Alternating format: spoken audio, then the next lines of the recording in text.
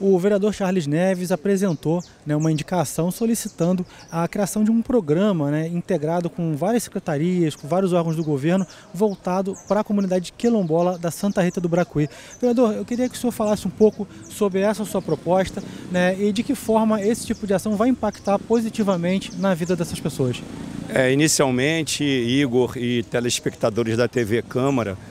é, você reconhecer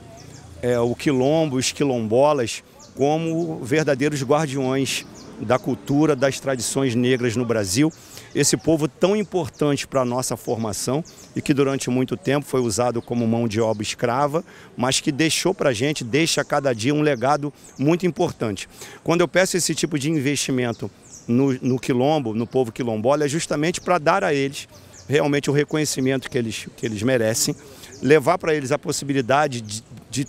locais de visitação, locais para o restante da população conhecer as tradições, trazer para eles mais possibilidades, mais possibilidade de auferir renda com isso, porque eles também merecem,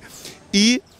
para o restante da população conhecer mais a fundo essas tradições tão importantes para o povo brasileiro, para o povo de Angra dos Reis. Quilombo é um marco na história do Brasil. Angra dos Reis deve se orgulhar por ter um quilombo aqui e cabe a nós, legisladores, reconhecer a importância do povo negro, reconhecer a importância do quilombo e realmente tratar e propor políticas públicas para que a gente possa enaltecer é, o quilombo, a, a, enaltecer o quilombola e dar a eles e a todo o restante da população o direito realmente de conhecer e, a partir disso, respeitar mais.